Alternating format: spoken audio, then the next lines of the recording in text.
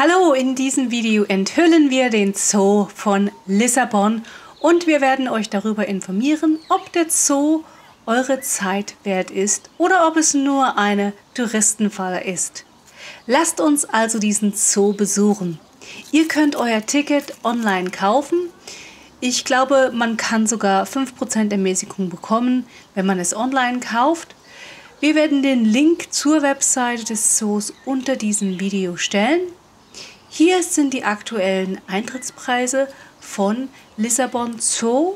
Erwachsene 29 Euro und Kinder von 3 bis 12 Jahren kosten 18 Euro. Wenn ihr eine Familie mit einem oder zwei Kindern seid, dann ist es definitiv nicht billig. Deshalb wollt ihr bestimmt wissen, ob es sich wirklich lohnt. Es gibt über 2000 Tiere in dem Park mit circa 300 Arten darunter auch Säugetiere, Vögel, Reptilien und Amphibien. Es gibt also definitiv genug Auswahl für jeden.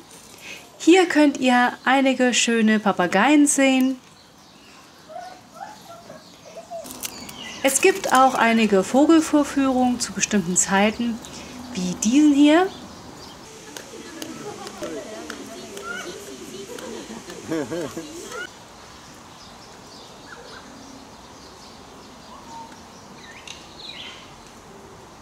Hier könnt ihr einige schöne Elefanten sehen.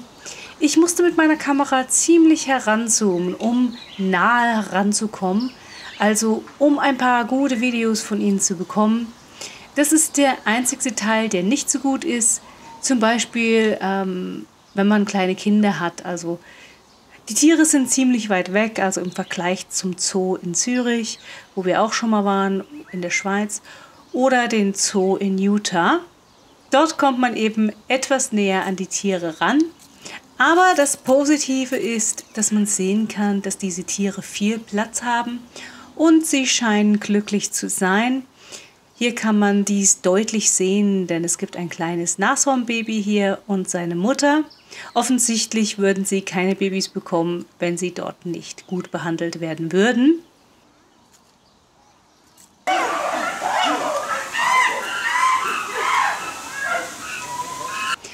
Eine Sache, die Sie dort verbessern könnten, ist der Kinderbauernhof.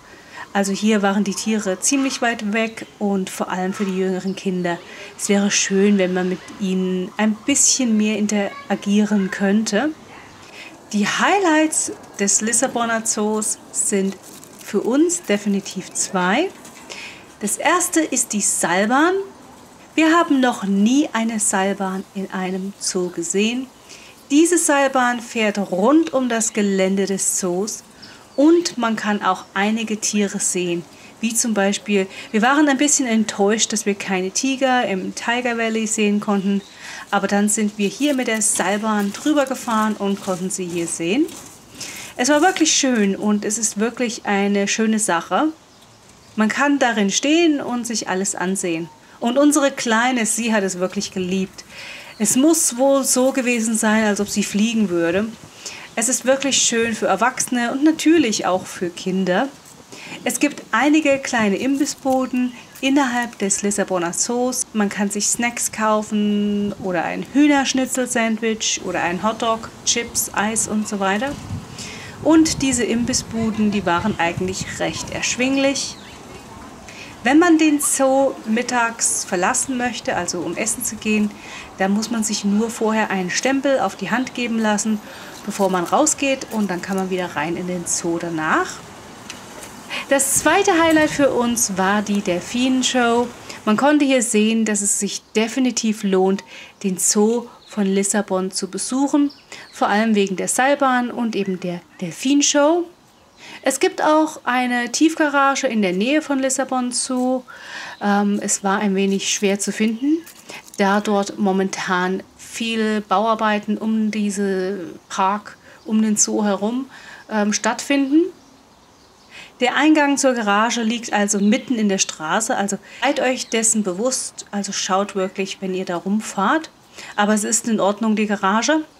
Und jetzt zeige ich euch noch ein bisschen mehr von dieser schönen Delfinshow.